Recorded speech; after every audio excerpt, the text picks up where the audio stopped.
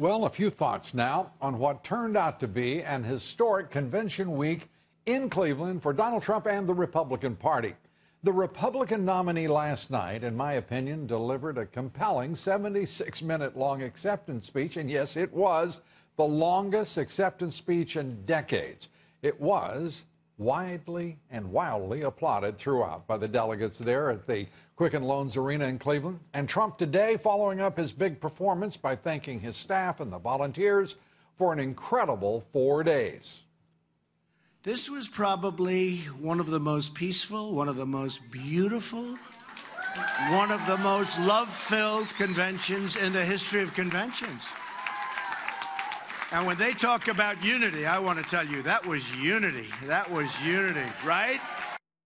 And by the way, I want to thank the people of Cleveland, uh, everyone giving us such a, a warm reception, uh, all of the delegates. Uh, it was just a, a terrific uh, four days.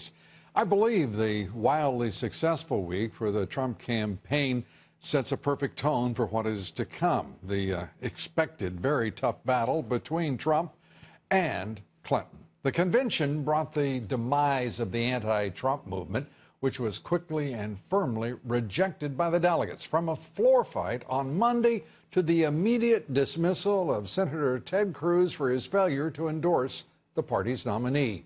The Trump children all making a strong pitch for their father, showing a softer side as well of the nominee. His daughter Ivanka delivered one of the best speeches of the week, telling the country her father champions the interests of women and minorities.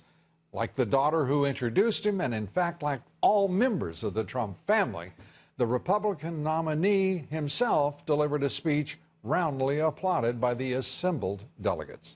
He filled the arena with energy and enthusiasm and, yes, power, promising to defeat Hillary Clinton on November 8th.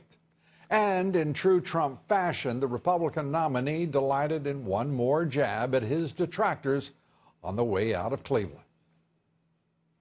No matter how much you like or dislike, no matter what your feelings, uh, whether you're the governor of Ohio, whether you're a senator from Texas, or any of the other people that I beat so easily and so badly. You have no choice. You got to go for Trump. You know, there's some people kind of going, wow, he shouldn't have done that, and clucking about it all. Folks, that's the Republican nominee. That's who he is. And he says that's exactly what we need. And with that, onward to the general election. The nominee historically gets a bump in the polls after his convention, and Trump has been rising in the polls despite being outspent 15 to 1 by Hillary Clinton and her supporters. It looks like the Clinton campaign has every reason to be worried heading into next week's Democratic National Convention in Philadelphia, where we'll be live beginning Monday, broadcasting to you at our usual time, 7 p.m. Eastern. We hope you'll be with us.